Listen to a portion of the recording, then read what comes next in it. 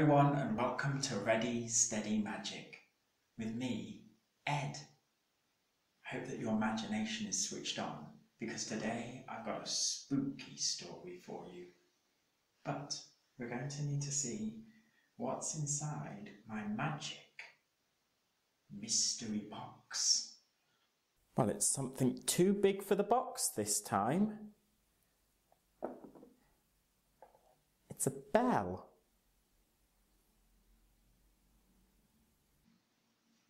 Hmm. The bell is broken.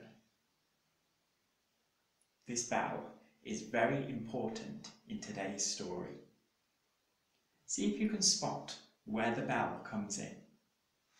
If you'd like to join in with today's story, then raise your finger like this, or use a magic wand if you have one. Wave it in the air as we all say the magic words together. Ready, steady, magic.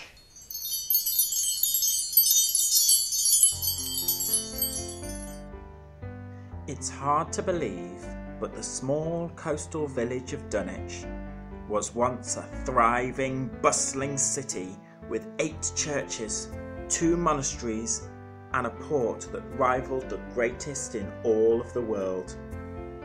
But today, only a few houses remain. About 500 years ago, great storms swept off the ocean and crashed onto land. Whole buildings were carried out to sea. Legend says that at times of danger, you can still hear the bells of the lost city of Dunwich ringing out on the waves. However, as this story tells, it is on land as well as the sea that the warning bells ring. The people living in Dunwich are mostly dependent on the sea. They are fishermen who trade the fish that they catch for other goods in a nearby village. Often, when they leave for home on a clear, crisp evening, they find themselves walking through dense, swirling fog, so thick that they can barely see their own hand in front of their face. Everyone knew what the problem was.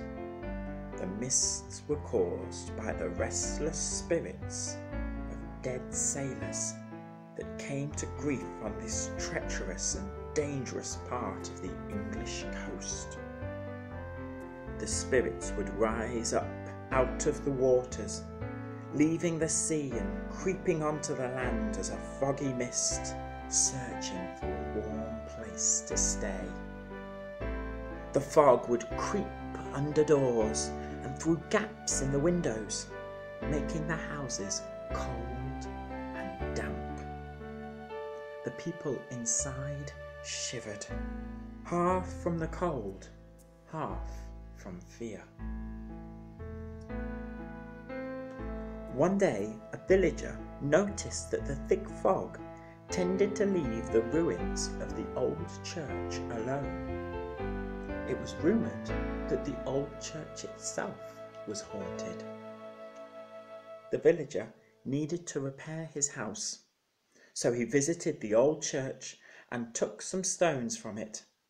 They were very heavy, and he had to take several journeys to move them back to his cottage. On his last visit, he spied a little bell lying in some overgrown grass. He picked it up and carried it home with him his satchel. When he got home, he tried to ring the bell, but nothing happened. The bell was broken. He placed it aside and forgot all about it as he drifted off to sleep, pleased with his hard day's work. But he was soon woken up. Ding, ding, ding! The man jumped awake. The fog was all around his ankles and in every part of the house. The bell rang louder and faster.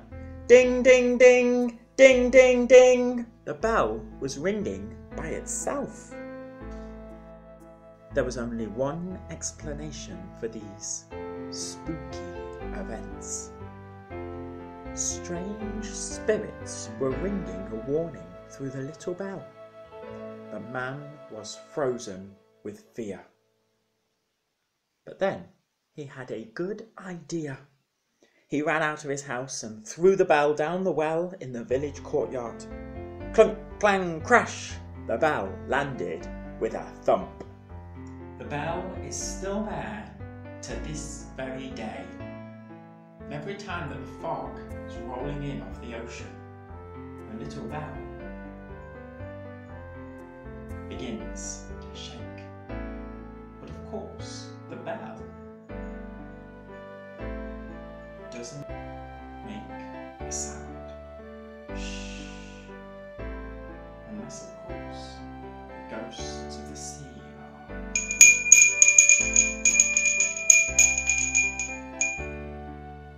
nearby.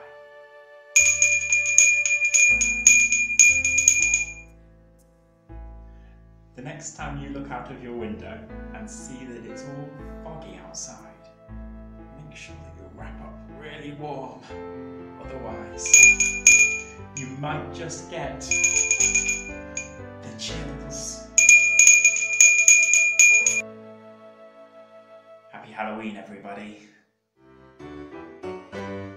If you'd like to find out when I add more magic videos, then click subscribe here. And why not watch just one more by clicking here?